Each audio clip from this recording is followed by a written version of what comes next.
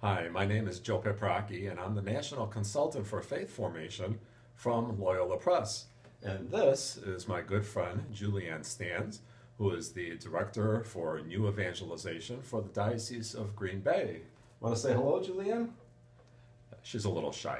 Uh, anyway, we're both looking forward to being with you in Buffalo for the NCCL conference this May.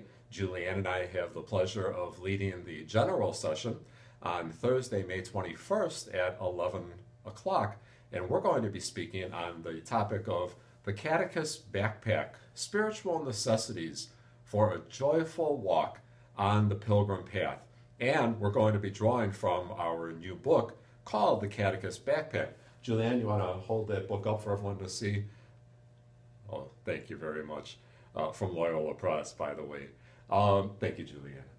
Um, in addition to that, I'm going to be facilitating the PCL Forum on Monday, May 18th, between 2 o'clock and 4.30. And our focus for that forum is going to be encountering the joy of the gospel, three ingredients for the new evangelization.